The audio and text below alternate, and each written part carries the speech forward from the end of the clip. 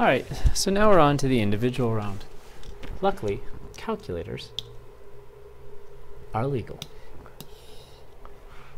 Number one, everybody's favorite. Suppose Mike raked his yard, or can you rake his yard in 4.5 hours? So Mike has a rate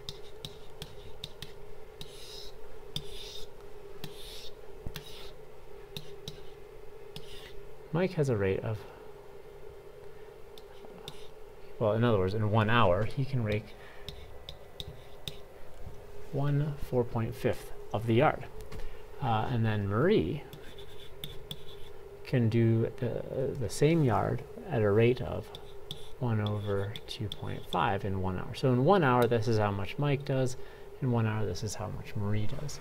Now, to be honest with you, I don't love the fact that we have decimals inside the fraction. So what I'm going to do is I'm going to multiply both of these by 2.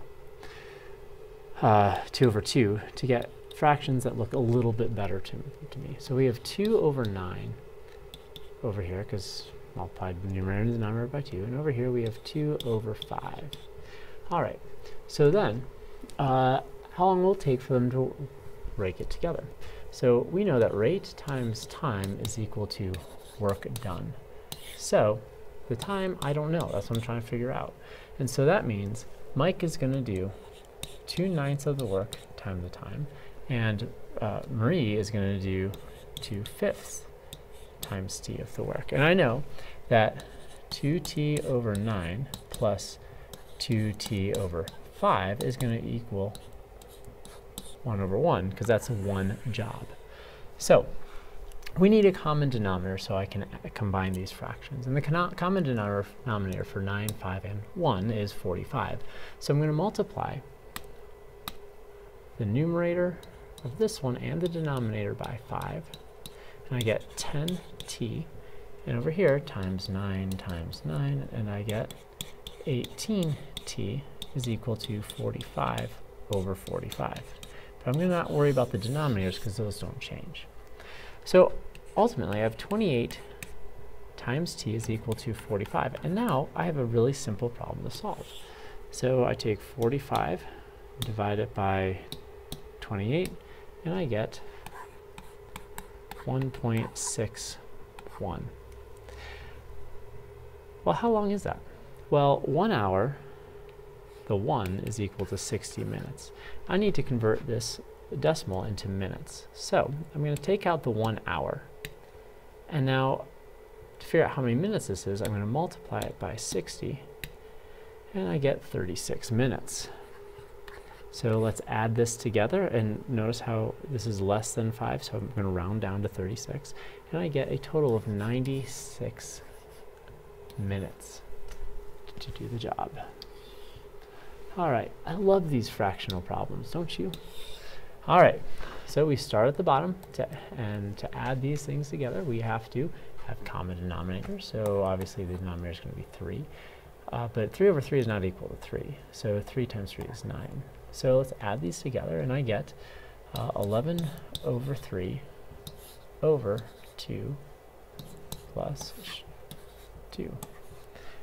All right, now what this is saying is saying 2 divided by 11 over 3. But to divide a fraction, you multiply by the reciprocal. And so we'd get 6 over 11. The easier way to think about it is bottom up and multiply. So we end up with 2 over 3 plus 6 over 11. Again, let's repeat the process. This needs to be over 11, so we get 33 over 11. So now we have 2 over 39 over 11, bottoms up. And so we get 22 over 39. And lo and behold, we got both of them right. Sweet. Come on, anytime now.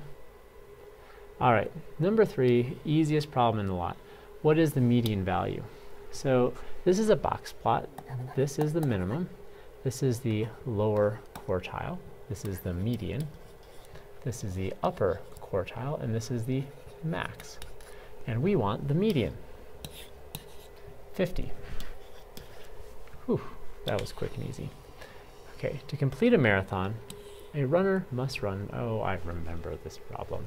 So we have two halves. We have 13.1 for the first half.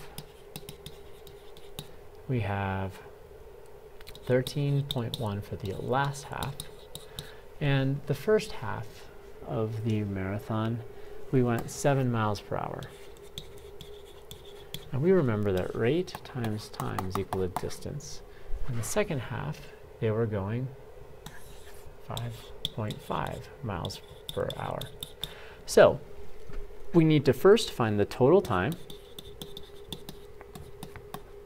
And to do that, we need to find the time of both halves. And then finally, we can find the average speed. So this is our game plan right here. So to find the time, we know that rate times time is equal to distance. So we know 7t is equal to 13.1. So 13.1 divided by 7.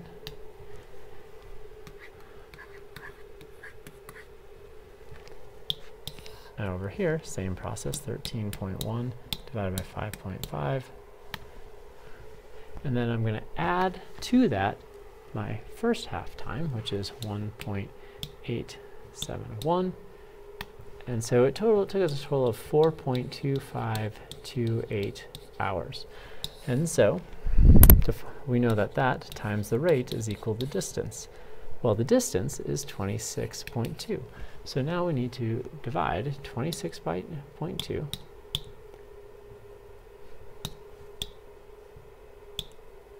divided by my 4.2528.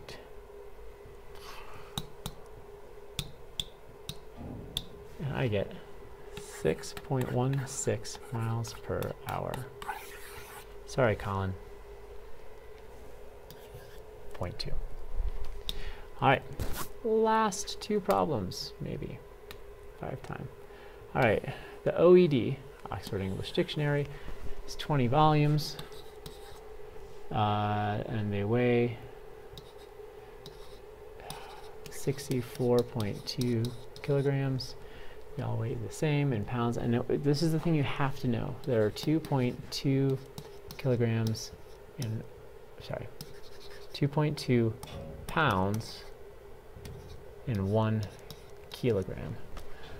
So we simply take 64.2 divided by my 20 volumes and then uh, multiply it by my 2.2 which gives me a grand total of 7 point and it says the nearest tenth 1 excellent. Last problem.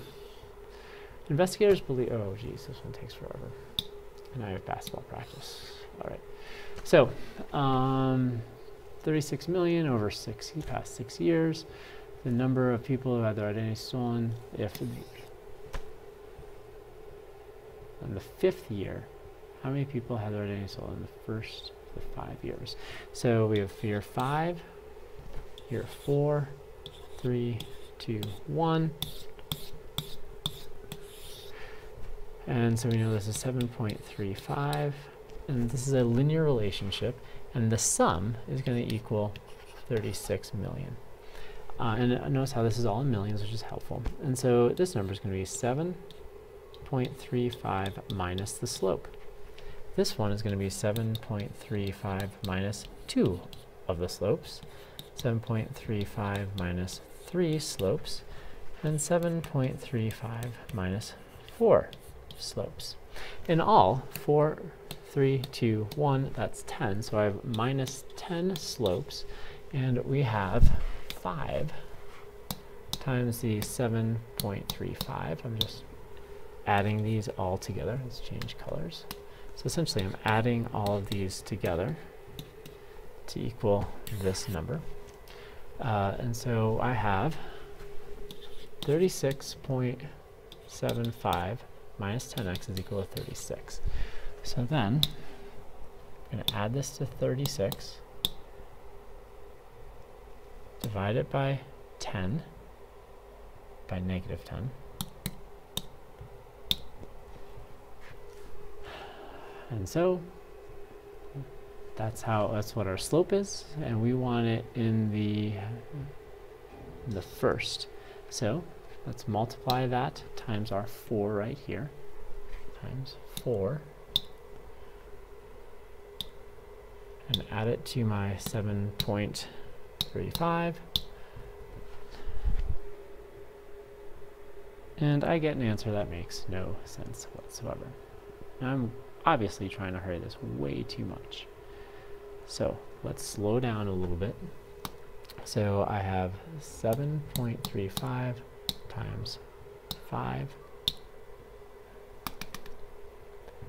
7.35 times 5. That's right.